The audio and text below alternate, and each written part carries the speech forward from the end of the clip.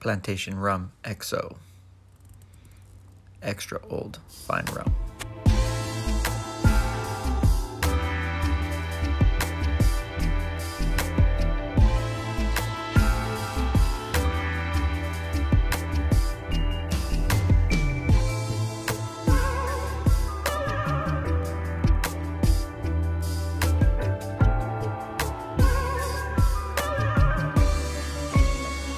First heard about this rum a few years ago from a fellow rum enthusiast when I was on vacation in Miami a few years ago.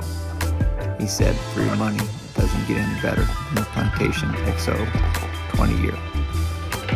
I'm about to try it out. Very much looking forward to this. He recommended a good pour on a single cube of ice, let it sit for a minute or two, and then enjoy this fine, fine rum rum and coke has become a very popular drink. However, many people do not realize the reason you're adding the coke is to give your bitter rum some extra sweetness. When you start getting into the finer rums, they definitely already have that caramel taste ingrained. And you definitely do not want to dilute or ruin your fine rum with cola.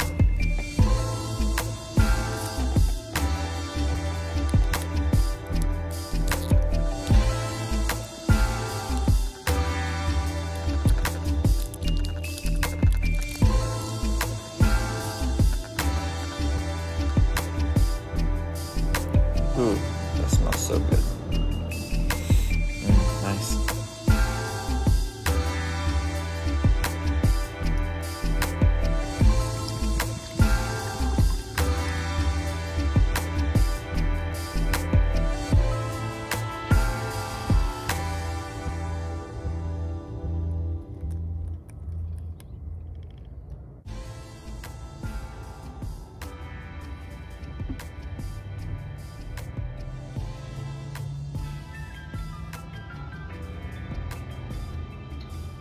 Ooh.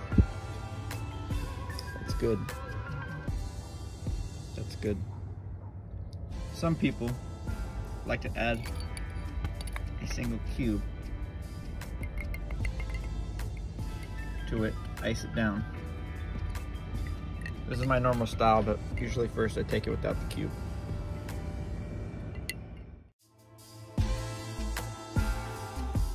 Thank you for watching my video. Think about liking or subscribing. If you'd like me to do a review of a particular brand of alcohol, please leave a comment below as I'm looking for additional content and one of my friends have already recommended a tequila review, which is probably not my drink of choice, but I look forward in exploring this.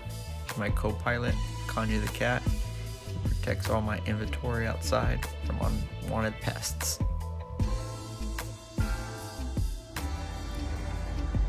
One of my friends said, with great power comes great responsibility. Oops, it's the wrong quote.